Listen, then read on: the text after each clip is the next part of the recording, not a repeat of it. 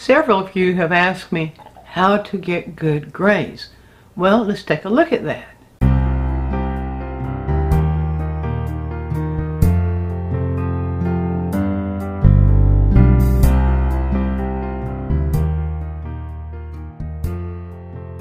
Well, the wrong thing to do for mixing grays is using black and white to make the gray and adding into the color. It's going to dull your color when you do that. But the really best way to go about getting grays or neutrals, as we should call them, is to go by the color wheel and mix complements. But wait just a moment.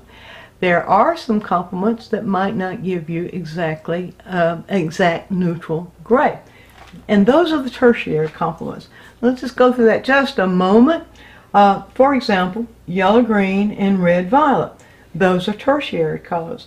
They have yellow and green, red and violet. Both have blue in them. Green has blue and violet has blue.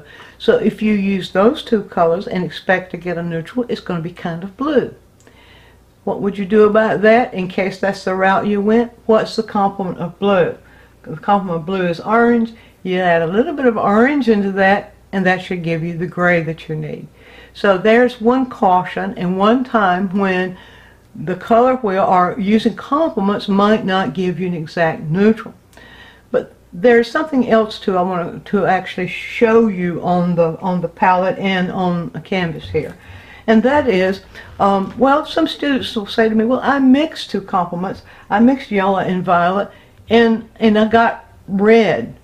And so let's look at why that might happen and what you can do about it.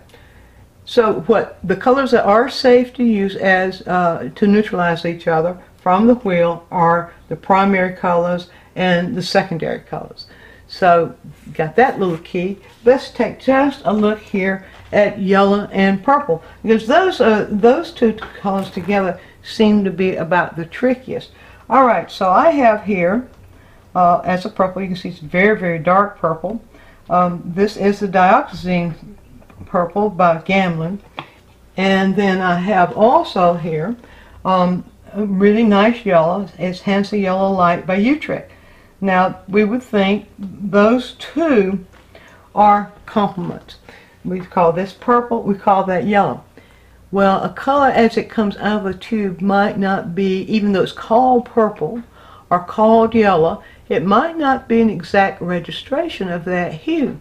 Let's see we, what we have here. So if I take the violet, the dioxazine purple, and I pull a little bit of it into purple, I um, into yellow, and I keep pulling a little bit. The, the uh, this is another thing about the proportion of it. And I keep pulling it in. Well, you see, it begins to turn to turn into a color that we know to be um, kind of raw umber. Uh, that's with just that mixture. I keep pulling a little bit of yellow into it. And a little bit more yellow into it. Now, how do I know the point at which it is neutralized? Well, if it becomes, if it's a point where it no, no, no longer is purple, and starts becoming yellow, then it hasn't been neutralized. You see here, it begins to look like um, a, more like a, um, a, a raw sienna. And so then if I add more yellow, say, well, surely, surely we can neutralize that. And then it will become more like a yellow ochre. Why is that? It's because the purple is too red. The purple doesn't have enough blue in it to actually um, counter that. So what can we do about that? Well, let's go and add just a little blue to it. And this is the way you think about it. So rather than to fight and complain because you didn't get an exact neutral, well then look at what's going on. Why couldn't you get exact neutral? I can come back here I can add, well, I can move in the other one, so let's, let's, let's just add a little bit more purple this way. And we begin to get kind of a brown there, which begins to feel kind of orange. And that is our clue that it has too much red, that the purple has too much red in it. Orange, the complement of orange is blue. Now, if we add a little bit, this is ultramarine blue, if we add a little bit of blue into that, it should neutralize it and there too we need to be uh, we, we need to have control. Let's pull that down here. I'm going to add a little bit of white into that so that we can see what we have. And see, we have not quite enough blue added to it because it's still brown. Well, it's still neutralized. That's neutral. Brown is more neutral than uh, than yellow. But let's add a little bit more blue and we'll watch it turn gray right here before our eyes. See, it's, it's beginning to get more gray. Add just a little bit more of the blue and it begins to get even more gray. And I believe, not quite, it's, that's really stubborn. And the reason it's so stubborn is because the Doxazine purple is a very strong color, a strong tinting strength color. Ultramarine blue is a very weak tinting strength. So it's going to take in proportion more of the ultramarine blue. And now here we begin to see it feel more, more neutral.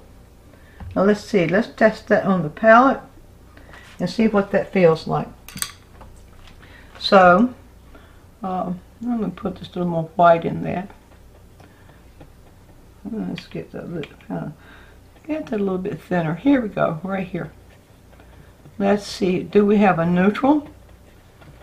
Uh, that's pretty gray, don't you think? Now, so it's kind of a warm, it's still a little bit warm, so we could add a little bit more of the blue in it. Let's see here, there we go. That's getting more neutral. Now, see what we we had before. Uh, if I can replicate that right here. Before we add the blue, this is what we're going to get.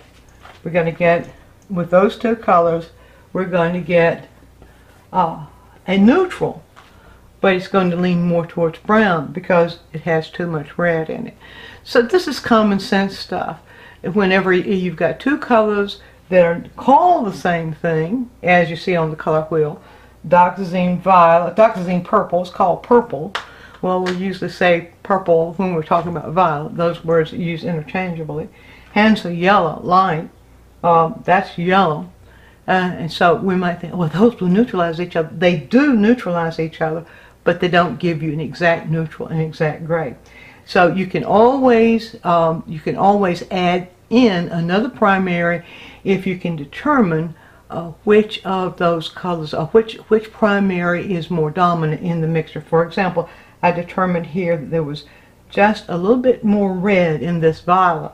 And and so then if we add uh, if we add the blue back, uh, orange, I'm sorry, uh, red in the violet with the yellow making orange. And so then if we add that blue back in, that then gives us that neutral. So color's a fun thing. Uh, on our in our uh, full-length video lessons on DianneMize.com, we have lots and lots of le lessons dealing with different aspects of color and, and how color behaves. So if you're really interested in pursuing this exciting field of color, why not go over there and, and give that a try. And if you would like me to do a quick tip to answer a question you have, drop us a comment right down here and we'll be happy to put that on the list. And there's your quick tip.